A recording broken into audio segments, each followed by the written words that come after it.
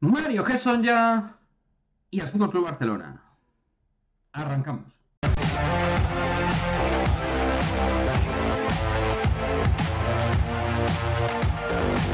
¿Qué pasa chicos? Muy buenas, bienvenidos a este nuevo vídeo de Madridismo, al día TV en el cual pues vamos con lo que en resumidas cuentas, chavales, ha sido el bombazo informativo en estas últimas horas, que además ha trascendido, ¿no? A los que seguimos el básquet, ¿no? Porque en redes sociales, gente que sigue normalmente fútbol, pues, pues ha hablado del tema, ha opinado, y digámoslo así, pues al final cuando eh, suceden este tipo de situaciones entre Madrid y Barça, tiene un contexto que va mucho más allá y tiene mucho más impacto y mucha más repercusión, ¿no?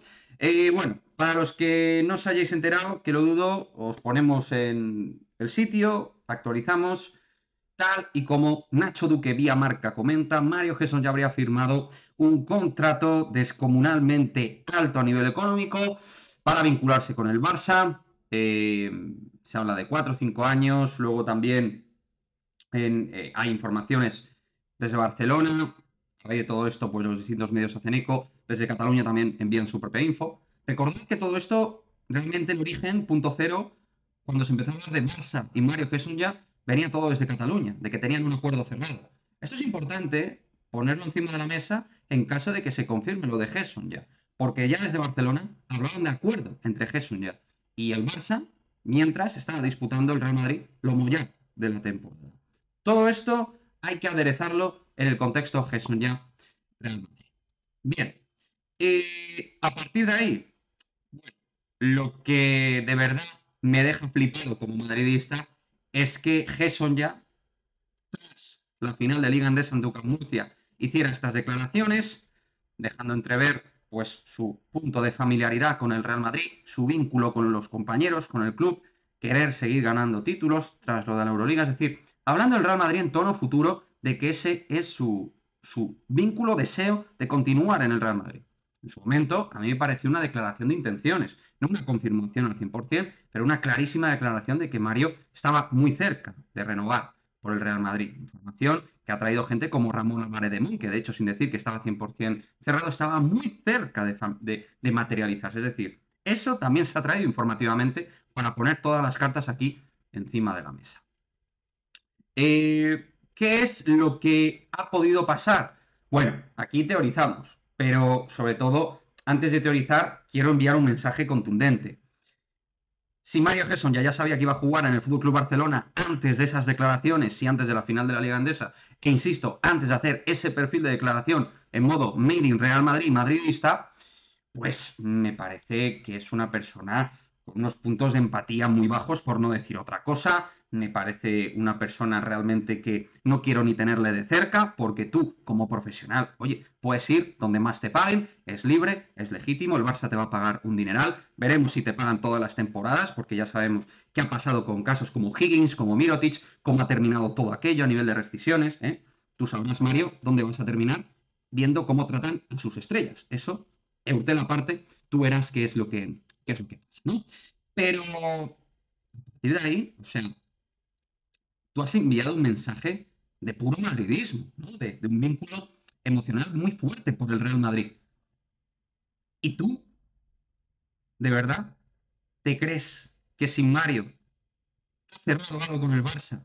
Se tiene que hacer oficial. Esperemos a ver qué es lo que pasa. ¿De verdad piensas, madridista, que esto ha sido de la noche a la mañana? ¿Que de repente se ha cerrado todo pum pum pam pam? Yo sinceramente no me lo creo. Creo que si termina jugando en el Barça, es porque ya tenía algo súper atado, muy atado. Cuando digo atado es muy atado.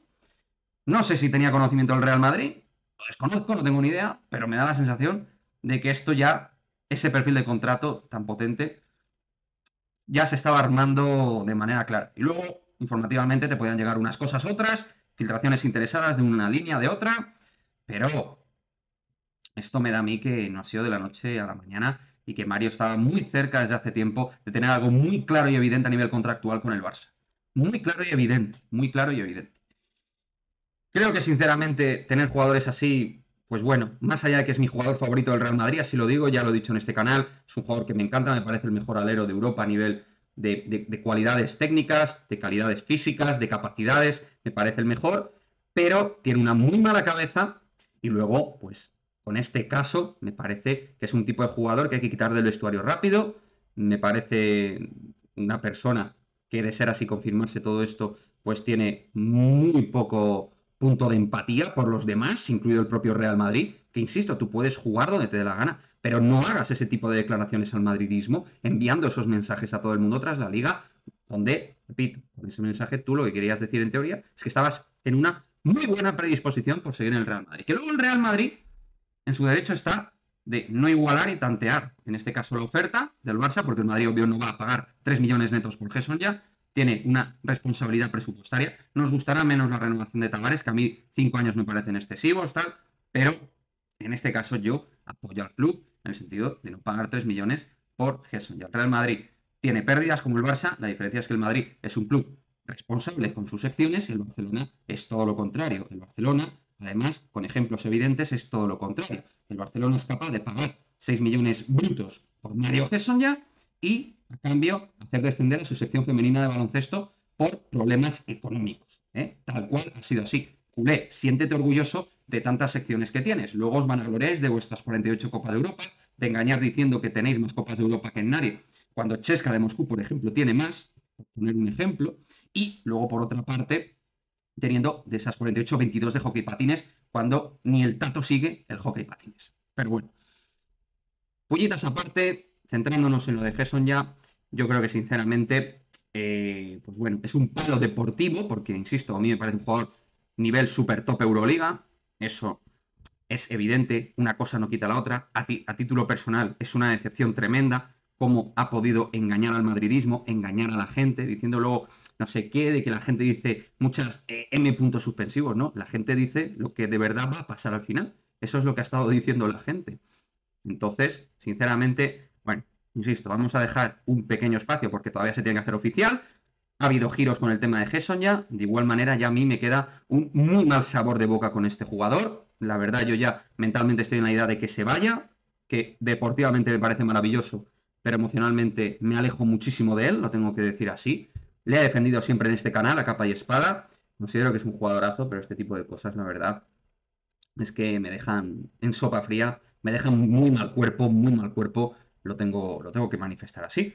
Vamos a ver el Real Madrid, en caso de confirmarse lo de Gerson y el Barça, cómo reacciona. Yo estoy muy curioso, a la expectativa. Les iba a fichar un perfil bajo, intentando, pues bueno, darle más minutos a este perfil bajo, más minutos a Hugo González, más responsabilidad a Yanan Musa, confiar en la recuperación de Gavidec, o se busca fichar a un perfil de jugador consagrado en el puesto de alero alto, que tampoco hay tantos en Euroliga, buscar quizás un proyecto joven que pueda jugar de 3 y 4, que me podría encajar bastante esto dentro del Real Madrid, no me parecería descabellado, buscar un perfil de este proyecto de jugador posicionalmente similar a Mario, aunque buscar un recambio de Mario para mí no lo hay, hay que buscar otras alternativas que puedan hacer que el roster funcione, no buscar un recambio de Gerson ya eh, totalmente, sino un perfil que tenga algunas similitudes, pero sabiendo que probablemente pues, va a ser peor que el, jugador croata a priori. A priori.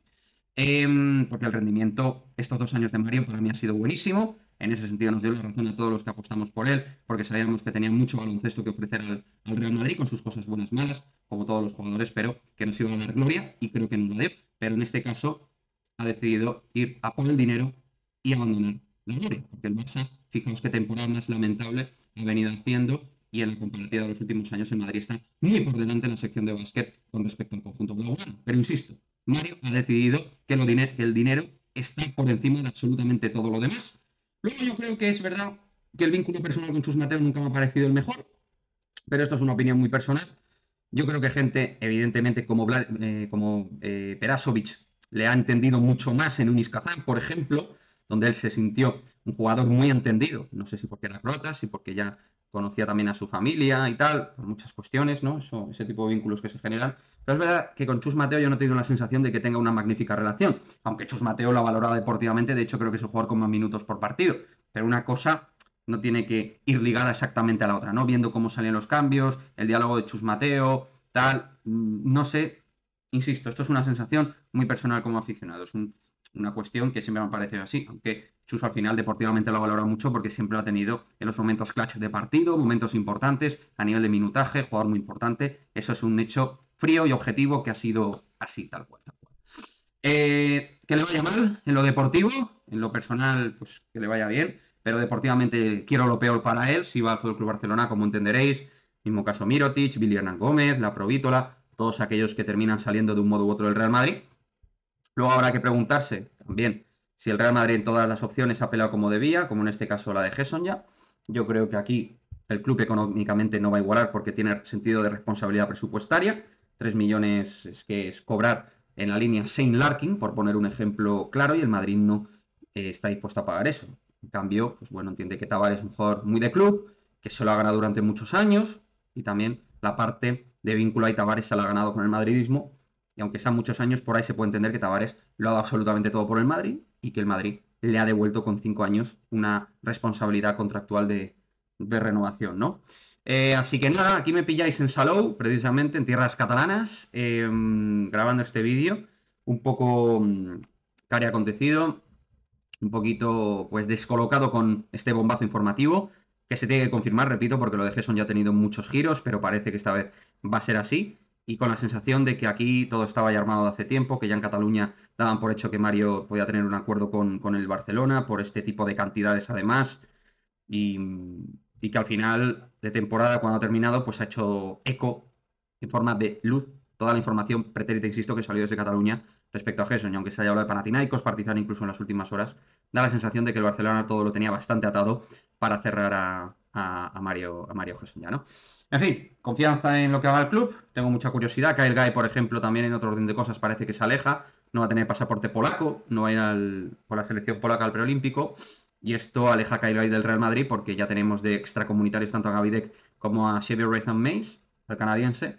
Entonces, vamos a ver cómo responde. Si hay una nueva reestructuración del roster, poniendo a Musa y Deck de aleros y fichando un escolta, un tirador que nos vendría a lo mejor bien, o fichar directamente un 3-4 para hacer funcionalidad más similar a Mario, pero con matices y registros diferentes a, a Gerson ya. En fin, curiosidad por ver cómo responde, porque el Madrid, de un modo u otro, a esto tiene que responder. Hay gente que me ha hablado en redes sociales de Rodion Kuruks, jugador que, por cierto, se formó en Barça, jugador que en Murcia lo está haciendo muy bien, jugador de los mejores treses que hay ahora mismo, seguramente, seguro, en Liga Andesa. Vamos a ver qué es lo que pasa con él.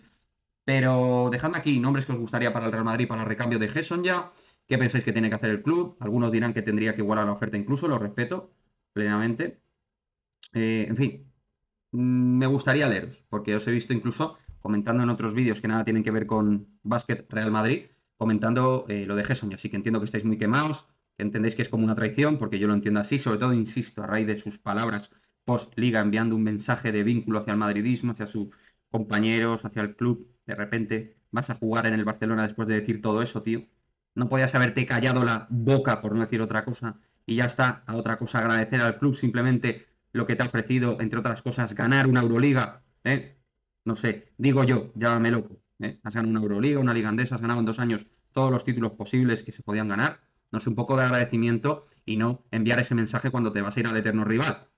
¿No? Porque, insisto, yo creo que esto ya estaba ya la cosa ahí bien atadita, bien atada. Dejadme vuestra opinión. No me largo más. Nos vemos en el próximo vídeo. Chao, chao.